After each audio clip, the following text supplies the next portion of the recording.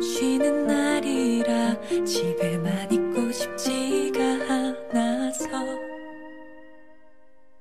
오랜만이야.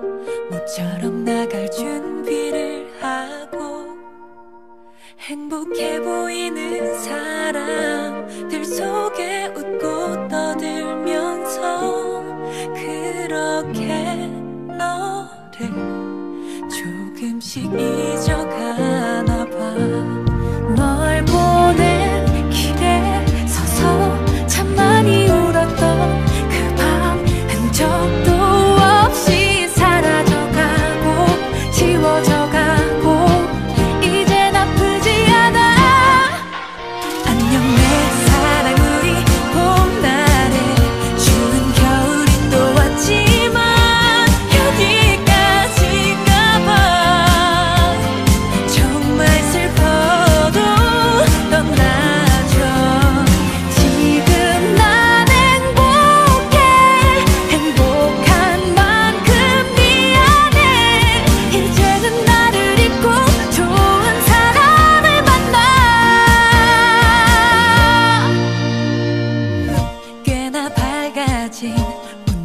모습에 나도 놀라서